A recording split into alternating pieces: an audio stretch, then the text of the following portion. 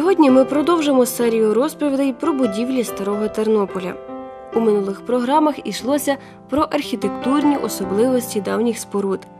Проте нам невідомо, якими були ті, хто жив у цих будинках, і чи справді вони ще дихають минулою епохою, зберігаючи дух своїх попередніх власників.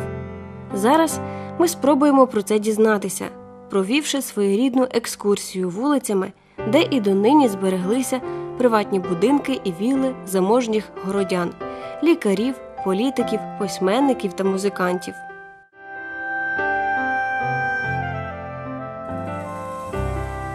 Ми розпочали із найближчого кам'яниці відомого на той час у Тернополі адвоката Богдана Стахевича на колишній вулиці Міскевича, сучасній бульварі Шевченка, 15. Збудований у 1901 році, цей будинок відносно добре зберігся до наших днів. Можна припустити, що раніше він був одноповерховим, ліпнини на другому поверсі дещо відрізняються від нижніх.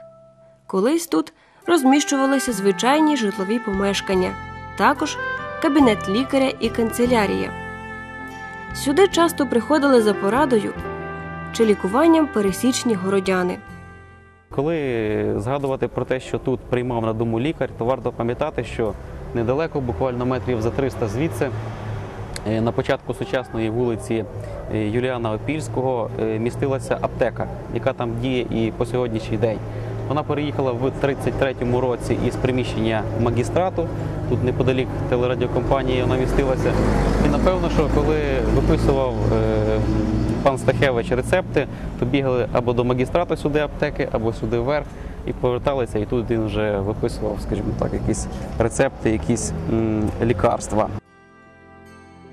У 1939 році у цьому будинку почала працювати музична школа, утворена з філії музичного інституту. Її очолював талановитий музикант Юрій Крих. Із цим будинком також пов'язана діяльність педагогічного товариства Учительська громада.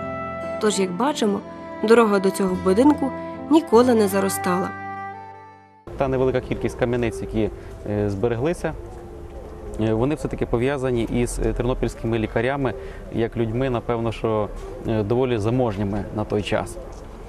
Е, Йдеться також про те, що ну знову ж таки я знаходив у старій періодичній пресі такі спогади, що е, тернопільські лікарі були власниками одних із е, перших автомобілів в Тернополі. Тобто можна собі зробити такий висновок, що це люди були не просто заможні, а дуже заможні. Ну я також тішуся, читаючи різні джерела, тим, що це були не тільки люди заможні, а й люди, які переймалися тими, хто жив гірше, ніж, скажімо так, вони. Тобто це в класичному розумінні інтелігенція, якої, на жаль, в Тернополі зараз не так багато. І це люди, які приймали е, дуже активну участь в культурному житті е, міста.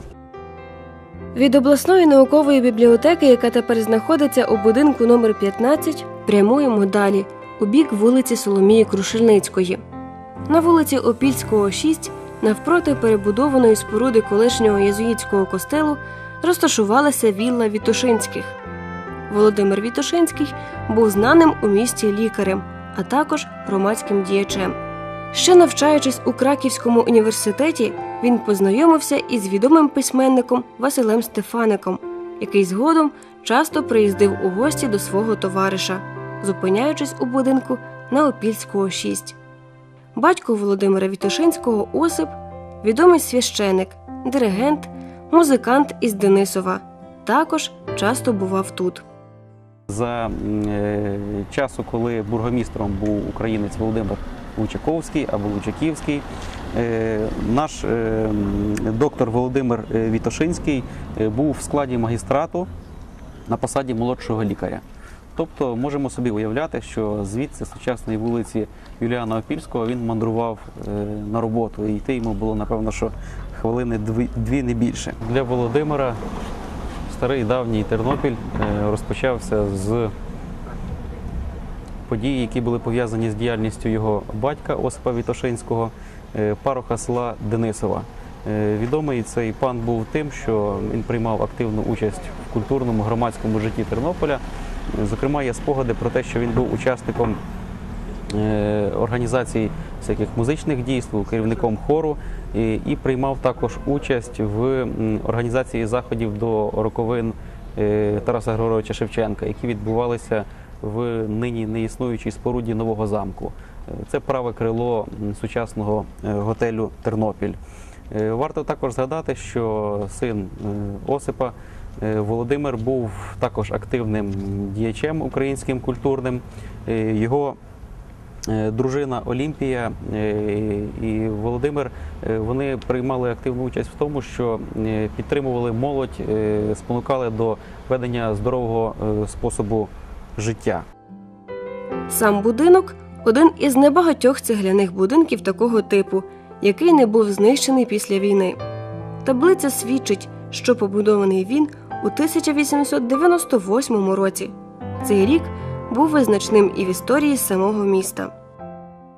Я шукаючи в Тернополі старенькі будинки, насправді зустрічав ще тільки е, одного типу такий будинок. Я маю на увазі е, не штукатурений, без ліпнин, а саме такої е, оригінальної форми. Ну, цегли змурований, так цікаво. Він знаходиться на Зарудді або, напевно, що ближче на новому світі. Якщо говорити про 1898 рік, то звичайно, що варто згадати про те, що це час, коли в Тернополі проводять е, каналізацію. Тобто створюються е, комунікації, і в той же час приблизно починає діяти на вулиці Кохановського електрівня. Тобто це такий, напевно, що ну, період технічного прогресу для Тернополя. В радянські часи у цьому будинку діяв дитячий садок. І сьогодні у цієї будівлі житлове призначення. Зовсім поруч, у стіну з віллою Вітушинських, діяло товариство Святої Зити, засноване у листопаді 1907 року. Домівка служила також місцем зібрань польських організацій і товариств. Дім доброчинності святого Вінцентія, товариство економок, е, конгрегація дітей Марії, товариство святого Йозефа. Вважалося, е, що ця організація опікувалася е, дівчатами, які приїжджали в Тернопіль, і напевно, що попадали в якісь такі халепи, неприємності. Зокрема, там були якось задіяні до проституції, там працювали в домах терпимості. І цей будинок був для них таким спасінням, порятунком. Тобто тут давали їм опіку, давали якусь роботу. І от він по сьогоднішній день зберігся, але, на жаль, на ньому немає ні табличок, ніяких ні відзнак. І ну, знову ж таки, втрачається та вся історія і забувається. Нині тут міські установи, і чимало тернополян, проходячи повз, навіть не здогадується про давню історію будівлі. Старовинністю дихає уся вулиця Опільського, вузька і чомусь така затишна. Наступний будинок, біля якого ми зупинимося, колишня вілла Грабовських. Це один із найкраще збережених одноповерхових житлових будинків і єдиний, про значення пам'ятки архітектури якого розповідає таблиця. Це єдиний із тих, які мені відомі в Тернополі пам'яток е, архітектури місцевого значення, е, яка має табличку, яка власне повинна була б міститися на кожній пам'ятці архітектури. І дуже б хотілося, щоб скажімо так, всі старі будинки виглядали хоча б настільки охайно і гарно, як вілла Грабовська. В архівних джерелах ця будівля датується 1894 роком. Олександр Грабовський, який жив тут зі своєю сім'єю, був знаним у Тернополі лікарем. Після його смерті будинок успадкував син Мар'ян, який перед початком Другої світової війни емігрував до Польщі. У радянські часи тут мешкали перші секретарі обкому партії. Будинок від зайвих очей обнесли високим парканом. Лікар Олександр Грабовський е, мав двох синів е, Мар'яна та Юрія. Е, І йдеться про те, що Мар'ян, який був правником, юристом, мешкав тут як мінімум до 1920-х років. Але потім, коли прийшла війна, є дані, що він емігрував до Польщі. Ну, як це часто бувало із тернопільськими будинками, він залишився без господарів. Зважаючи на те, що колишня вулиця Стрілецька вища, як вулиця, яка була багата і освітніми закладами, рідна школа звідси відкачали, будинок Сокола е, на Франка 8 е, у нас зберігся. е, то напевно, що її врятувала вузькість, тому що не було прострілів, і через те, що бої тут, напевно, що не були настільки насиченими, вілла є однією із небагатьох, яка в Тернополі збереглася, напевно, що чи не найкраще.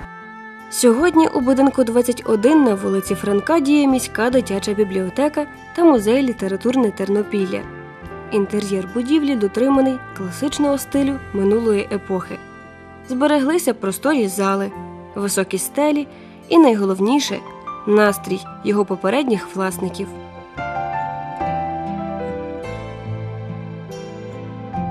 Зовсім неподалік розташувалася ще одна вілла інтелігента єврейської національності Кароля Погорілеса.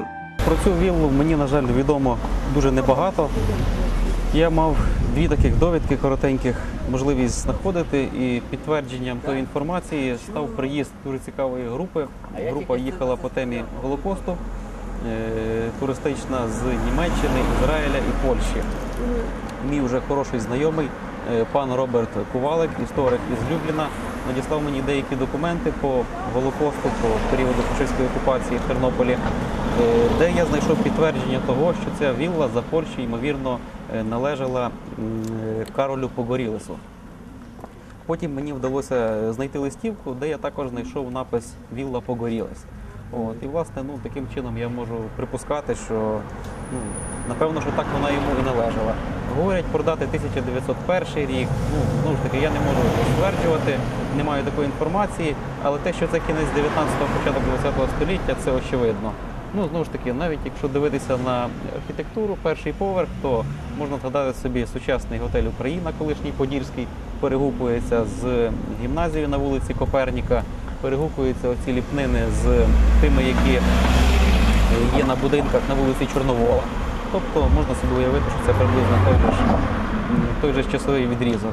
Ну, знову ж таки, як казали мені знайомі, я коли завжди якось намагаюся е, стильові рамки надати певному будинку, то кажуть, що не, не, не намагаються це робити, тому що, зважаючи на те, що Тернопіль і за Польщі був периферійним містечком, е, дуже такий вінігрет був. Тобто частинку брали з одного стилю, частинку з другого, і сказати, наприклад, що це там модерн, чи це там якийсь там бароковий, там, чи якийсь стиль, ну, на превеликий жаль, не можна. Будівля відома ще й тим, що в ній, як в одній із перших у місті, з'явилося електричне освітлення, оскільки електростанцію побудували зовсім неподалік. Чимало зі старих будинків тернопільської знаді кінця 19-го, початку 20-го століття не збереглися до нашого часу. Однак вже декілька з тих, які маємо можливість бачити, немов відгомін епохи своєю незвичною архітектурою, вишуканими ліпнинами чи простотою червоної цегли, нагадують про своїх видатних власників.